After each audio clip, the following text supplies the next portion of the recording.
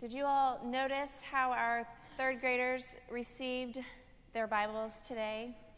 I find it an interesting thought to ponder of how we receive God's Word. And we receive God's Word in different ways, sometimes with great excitement, sometimes with a trip or a struggle.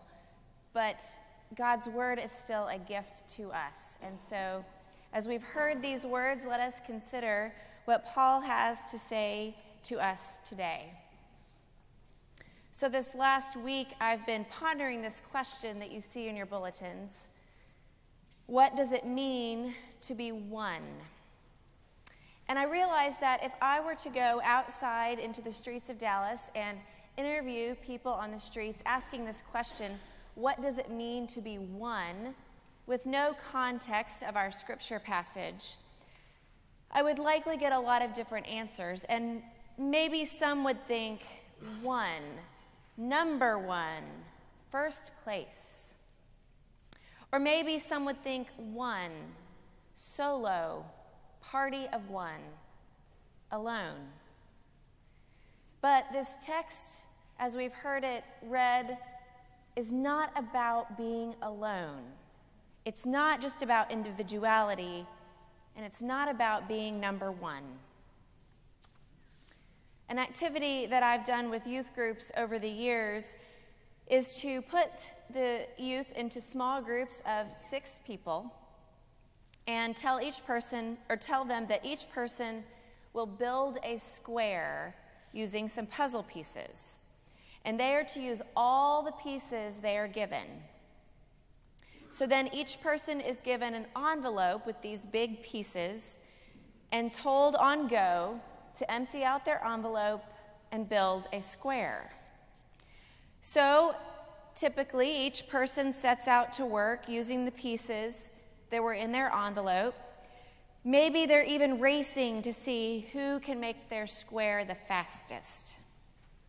But soon, many of them get confused or frustrated or con- they're convinced that something must be wrong because they discover that it's not possible to make a square with only the pieces they were handed.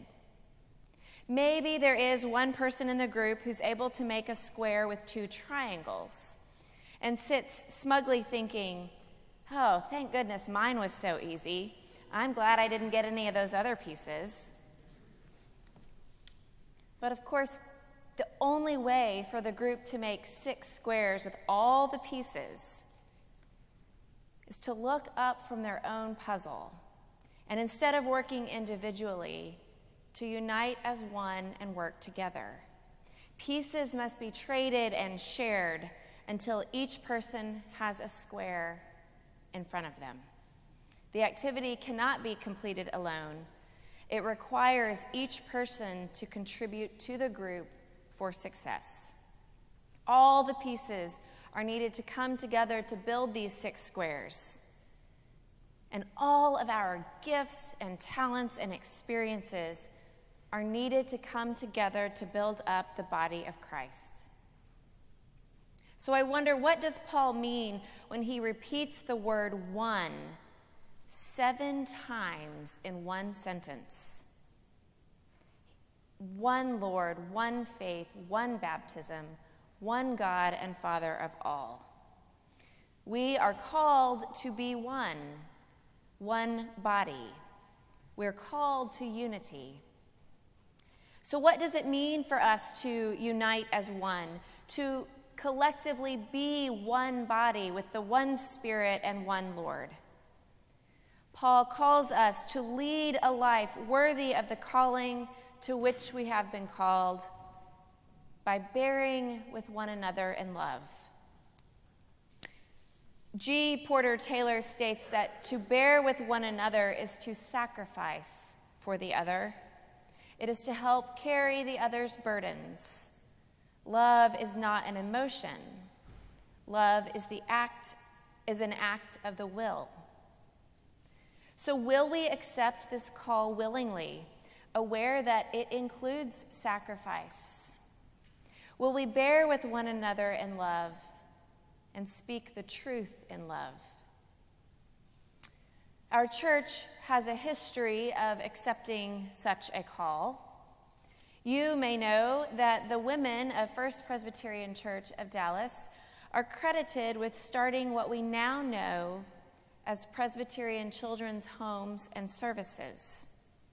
This past Wednesday, a group of church members and staff gathered together to visit two campuses a campus in Waxahachie and one in Itasca, part of what we call PCHAS, Presbyterian Children Homes and Services, where single mothers and their children find support and housing, and where children in foster care live in safe, supportive, and loving group homes.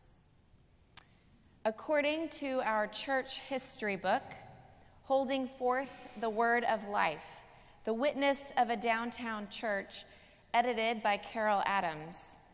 This ministry all began in 1902 when Pastor Rivas traveled to a Dallas back street on a grim pastoral call to the humble home of Frank and Leontine Blaney.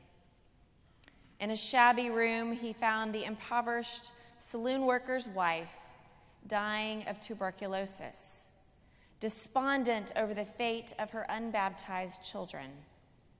She feared that her husband, a good man but an alcoholic, would be unable to care for their children. She may have also been worried, especially about one of her children who was disabled. Though the family was Catholic, they lived near the church and had been attending First Presbyterian. Mrs. Blaney requested of the pastor that her children be raised as Presbyterians, and Rivas assured her that her children would be provided for.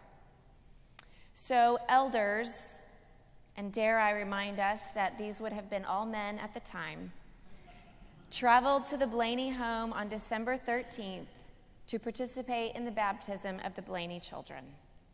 After Mrs. Blaney died, the father placed the children at the church in April of 1903, gave the furniture away, and the children never saw him again. He did end up dying five years later. We know that without delay, the Ladies' Foreign Missionary Society rented a house and procured a matron for the children, one of the members of the church, Mrs. Isabel Tatum. The Blaney children were the first of 27 children who found haven under the roof of the house on Annex Street over the next two years. So, friends, at a time when women were not even yet installed and ordained as deacons, and certainly not as elders and pastors in the Presbyterian Church, when their gifts were not fully recognized or celebrated, these women saw a need. And they said, Yes. Yes, we have gifts to share. Yes, we are one. We can come together and unite as one body. They looked at these children and said, These are our people we belong to each other. And we may wonder how were these women able to respond so quickly? Well, they had the organizational resources to respond quickly, and they had actually worked together for many years, and most importantly, had already explored establishing an orphanage.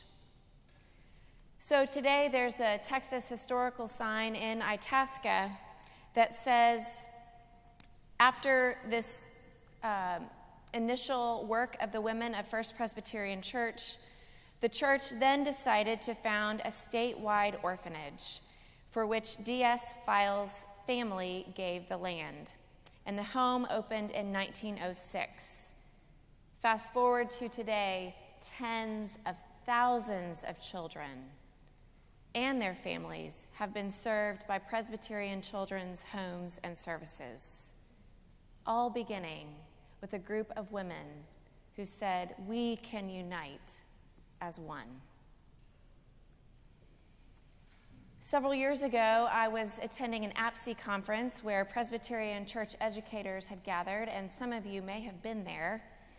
And we heard about this word from the Twi language of Ghana, Sankofa.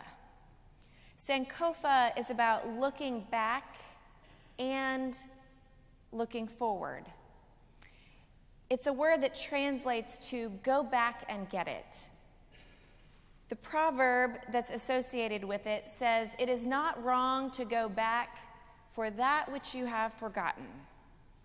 So, Sankofa symbolizes taking from the past what is good and bringing it into the present in order to make positive progress through the benevolent use of knowledge. So, what have we learned from our past? Where is there goodness? in our past? Where do we see God's Spirit at work, and where can we bring those things into our present as we look toward the future? Where we've come with women's ministries in our denomination is one example where both men and women have spoken the truth and love and claimed women's gifts as critical to the body of Christ. And that is part of why we celebrate the gifts of women today.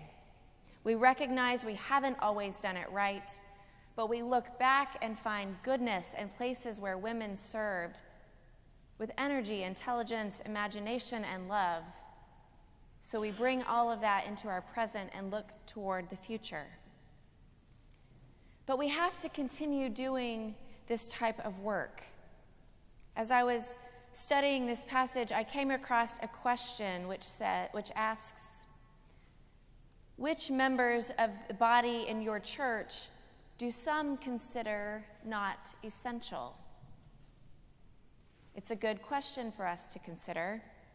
We still don't get everything right. We still don't always follow what God asks of us. As we celebrate the gifts of women today, are there others who we have not fully included?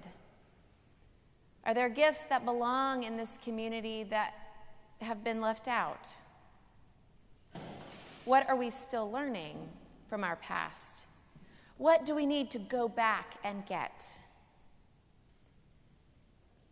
I think to be one, for many people to come together and unite as one, we must allow people to be who they are, who God created them to be in the image of God, and to come as they are. Each of us is enough. Sometimes we think we need more, and we need more, and we need more. But the truth is, we have what we need. But we might need to share what we have with others and receive what others have to share with us. But you are enough. Your gifts are enough. One of my favorite Presbyterian pastors to follow on social media is Mary McKibben Dana. And recently she's been using a hashtag that says, World's Okayest she recognizes that she's not always going to get it perfect or just right, but sometimes okay is all it needs to be. And so she celebrates when today everything didn't go as planned, but it was the world's okayest. So, to go back to the activity I did with youth when we had all these puzzle pieces forming squares. I look at what Paul told this, the Christians in Ephesus. Each of us is given gifts by God, but none of us has all the gifts. We have enough, and what we have is meant to be shared with the body. What we have, friends, is needed. Each of us in this place has a need Everyone outside our doors has a need, maybe an empty space. And we all have these puzzle pieces or gifts that are meant for someone else in the body to be whole. Our gift is the answer to someone else's prayer.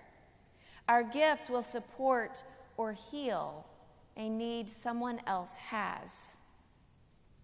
And I recognize that on this Mother's Day, this is not a happy day for everyone. Mother's Day may bring grief, sadness, guilt, doubt. For some, it's a mixed bag of emotions. And for others, it may be the best day of the year. But we bring all that we are, who we are, whatever we've experienced, and that is enough. And we can be one body when we bring our whole self and offer the gifts that we have. We are given, as Paul tells us, tools to unite as one body humility, gentleness, patience, forbearance, peace, and love. Again, G. Porter Taylor says humility keeps us grounded in the reality of who we are as creatures formed from the dust by God. Gentleness reminds us of our corporate identity. Because we are essentially part of the body, we are called to build up the body by attending to one another. Finally, we are patient because we live in time. The kingdom of God is a gift from God, not a work achieved by humans. God gives us what we need and calls us to love in action. So, what does it mean to be one? Well, oneness does not come at the cost of losing who we are, and it certainly doesn't mean that we are to be the same. Our unity is a place for us to celebrate our diversity because we all bring different things to the one body, and all of these gifts are needed. It is essential for us to bring who we are, our different gifts, our different experiences, perspectives, and offerings. And we bring these things to unite into the one body which Christ calls us to be a part. And we do all of this with humility, gentleness, patience, forbearance, peace, and love. Amen.